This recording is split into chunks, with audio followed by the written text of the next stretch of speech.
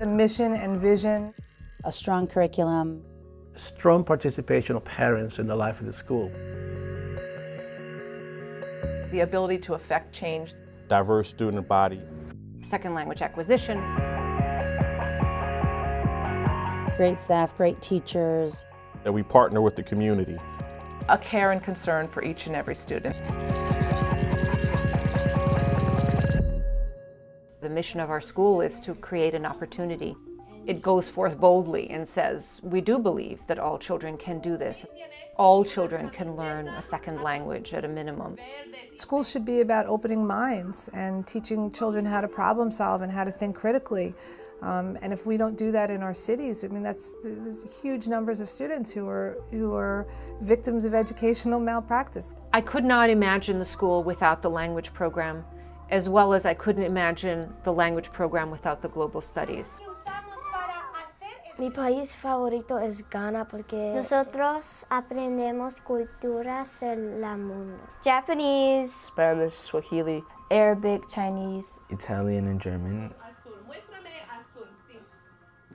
We strive to integrate across the curriculum. We teach the content through a second language. So um, the language is just the means by which we get to our end. Our students have a skill that they can bring with them wherever they go. How to use your skills to navigate the world. We have children from every economic background you can imagine, and yet there is a sense that we have a community here. The opportunities for us to connect with one another empower us to do things that we may not have ever even known we could do. To bring a, a, range of, of kids and students together to study in one school, that itself could stand as a model for urban education. ICS would not be ICS if it was not a diverse student body. That's what makes the school so different and so unique. Our kids just get along with each other. We work together, we're a good team. We really do treat each other equally. You know, kids are kids, no matter what color they are somehow we all fit together like puzzle pieces.